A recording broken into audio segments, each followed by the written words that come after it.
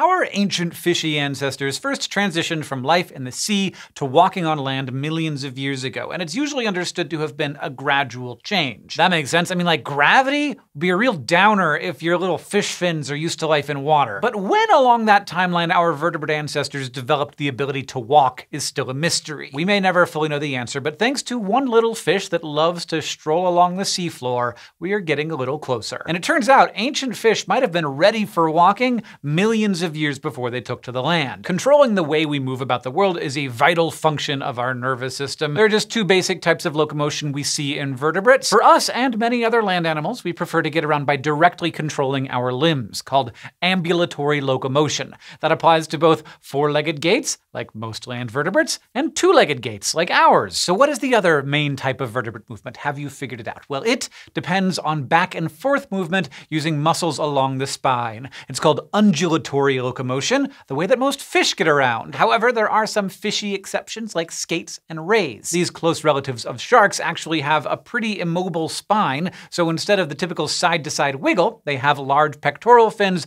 to generate forward propulsion. But even with the ability to glide along on these wing-like fins, some species of skate opt to stroll along a sandy bottom instead. One particular species, the little skate, uses unique movements of their small pelvic fins to create a distinct walk when they're cruising along. Adorably referred to as punting, it's actually the preferred mode of transportation for this fish. Now you might be wondering, why bother walking when you can swim? Well, it's actually an important part of their feeding strategy. Little skates use electroreceptors in their head and throughout their pectoral fins to help locate their prey. By keeping their big fins still while they punt along the seafloor, they might be better able to pick up on sensitive changes in their environment that could reveal their next meal. Now walking along on fins is not unique unique to the skates and rays. There are some other incredible fish species, like the flatfish and the red-lipped batfish, that also prefer to stroll along on limb-like fins. But these walking fish still use undulatory locomotion, the side-to-side -side swim you see in most fish families. Whereas the little skate also has a very specific left-right saunter more characteristic of ambulatory locomotion. And while we're not totally sure yet,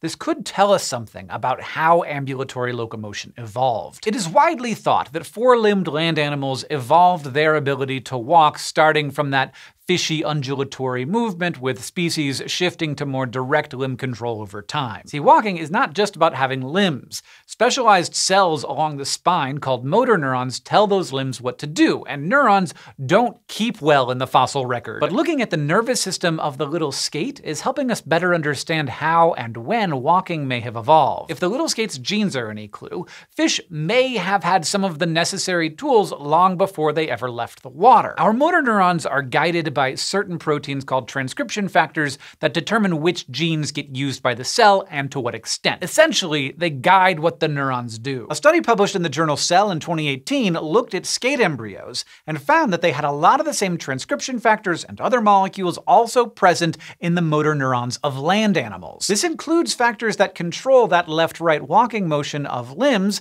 as well as the bending and straightening of limbs. Not only that, but the way the neurons were connected to muscles was also very similar. The researchers were able to show that the skates have the genetic blueprint for controlling movement, as well as bending and straightening limbs. And this potentially shifts the evolution of walking way back. It suggests that the common ancestor of skates and modern land vertebrates may have already had the neural tools required for complex walking behavior 50 million years before land animals first began strutting their stuff. To build on this research of skate neural pathways, researchers at Harvard used a theoretical model to show how underwater walking may have evolved in that ancient common ancestor, even building a bipedal robot to show their work. Using a mathematical framework, they considered the environmental and physical constraints constraints that an ancient seafloor-dwelling fish would have experienced. They showed how this left foot, right foot type gait that little skates share with land vertebrates can evolve with the help of the neutral buoyancy of water. Essentially, their framework showed it wouldn't take much specialization for fish to begin strolling around fairly efficiently. The constraints of moving onto land wouldn't be a hard requirement. This provides further evidence that long before our fishy ancestors made their way onto land, they had already worked out the kinks of a steady walking motion. Now, while we still might might never know exactly how the first landwalkers came to be, these studies can help us better understand vertebrate evolutionary history. They can also help us in other ways too,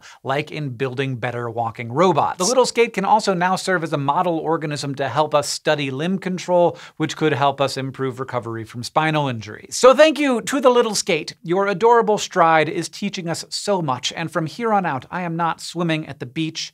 I am punting. Thank you for watching this episode of SciShow, and thank you, as always, to our patrons for helping to make it possible. If you would like to join this great community and get to see some cool stuff like our newsletter and our monthly bloopers, you can get started at patreon.com slash scishow.